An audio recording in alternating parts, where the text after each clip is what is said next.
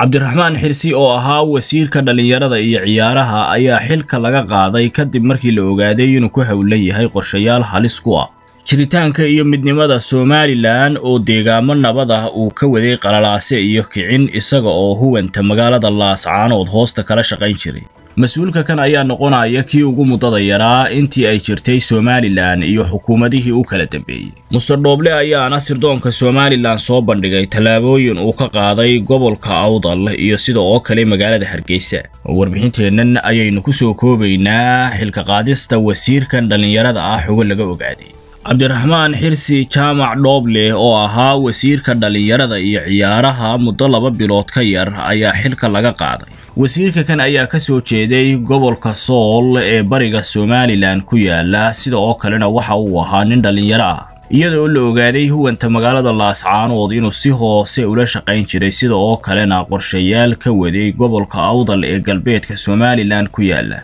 waxaana kow ka ahaa tallaabooyinka uu qaaday kala dirista xulka gobolka awdal oo muran weyni hadheeyey sida oo kalena ay isku dhaceen barasaabka gobolkaasi kadib markii uu go'aansaday. Inuu qalalaase iyo iska horkeen ka sameeyo gobolkaasi hase yeeshee. Arrintaasi ayaa si weyn looga hortegay waxaana dhexdhexaad ka noqotay wasaaradda arrimaha gudaha ee jamhuuriyadda somalilan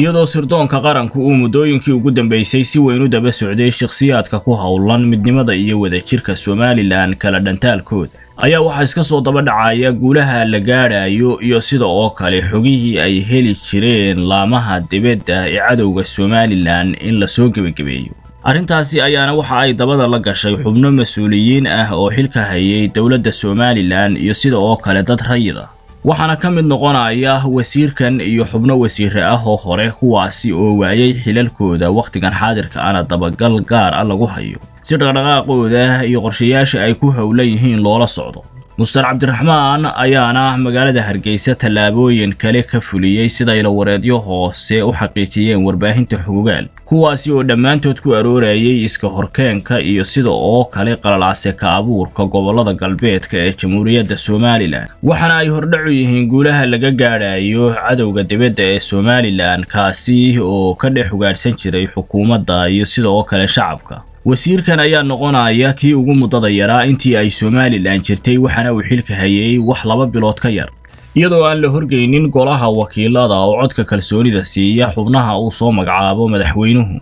Waayista xilkiisa ayaan salka ku haynin muranka boorame uu ka abuuray oo keliya hase yeeshee. Waxaa jiray sida ilawareedyadu noo xaqiijiyeen qorshayaal kale oo uu ku howlanaa kuwaasi oo uu doonayay inuu gudaha somalilan ka fuliyo muster dhooble ayaa la filayaa in uu huwanta magaalada laascaanood ee xarunta gobolka sool si rasmiya ugu biiro saacadaha soo socda. Iyadoo xubno sidiisan oo kale xilka looga qaadayba ay si deg deg ah ugu biireen deegaanka ay ka soo jeedaan ee bariga sool. Waxaana iska soo daba dhacaya kala sifaynta iyo kala shaandhaynta shakhsiyaadka dalka somalilan jecel iyo dadka u jooga inay nabadgelyadiisa iyo wadajirkiisa dhibaateeyaan kuwaasi oo muddooyinkii ugu dambeysay u midhamidhaysanayay sirdoonka qaranku. Sida oo kale wareegtada ka soo baxday madaxweyne biixi ayaa xilka lagaga qaaday wasiir ku-xigeenkii wasaaradda arrimaha dibadda oo deegaankiisa wax saameyna ku yeelan waayey. Ahaana shaqsi uun ku sugan magaalada hargeysa oo aan wax dhaqdhaqaaq ah haba yaraatee ka samayn jirin qadiyadda somalilan iyo xilkii loo igmaday